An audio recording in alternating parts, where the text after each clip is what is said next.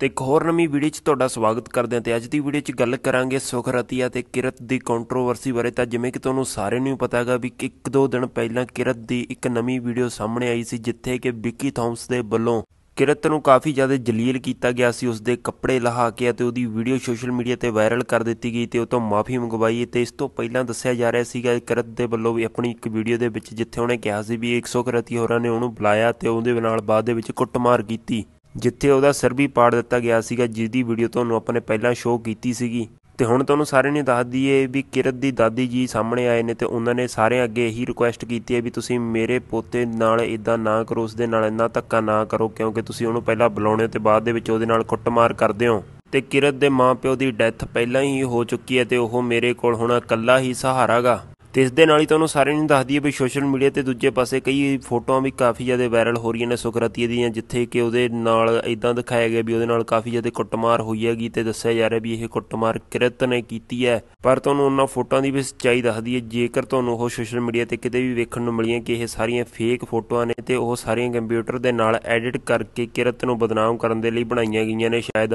ਬਾਕੀ ਤੁਹਾਡਾ ਕੀ ਕਹਿਣਾ, ਇਹਨਾਂ ਦੀ ਚੱਲ ਰਹੀ ਕੰਟਰੋਵਰਸੀ ਬਾਰੇ ਕਮੈਂਟ ਕਰਕੇ ਜਰੂਰ ਦੱਸਿਓ ਤੇ ਚੈਨਲ ਨੂੰ ਕਰ ਲਿਓ ਸਬਸਕ੍ਰਾਈਬ ਹੋਰ ਵੀਡੀਓ ਵੀਡੀਓਜ਼ ਦੇਖਣ ਦੇ ਲਈ।